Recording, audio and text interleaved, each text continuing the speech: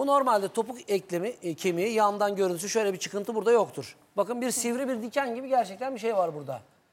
Onunla ifade edilir. Hastalığın, hastalık topuk dikeni olarak ifade edilir. Ama burada ağrıyı yapan topuk dikeninin kendisi değildir.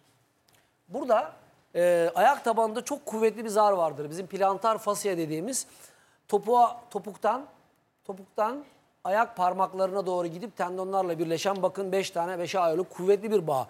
En ayak çukurluk kavsini yapan bağ da budur. Yani tabandan bastığımız zaman o çukurluktaki sert olarak ele gelen bağ budur. Bu bağın rahatsızlığıdır aslında. Bu fasyanın rahatsızlığıdır. Adı da tıbbi ismi plantar fasittir. Yani bu fasya kalınlaşmış olan zarın iltihabi değişiklikleridir, dejenerasyonlarıdır. Kısmi e, küçük küçük yırtıklar olabilir. Ayak tabanının altındaki zarın zorlanmasıdır. Zorlanmasıdır diyelim tabii tabii zorlanmasıdır.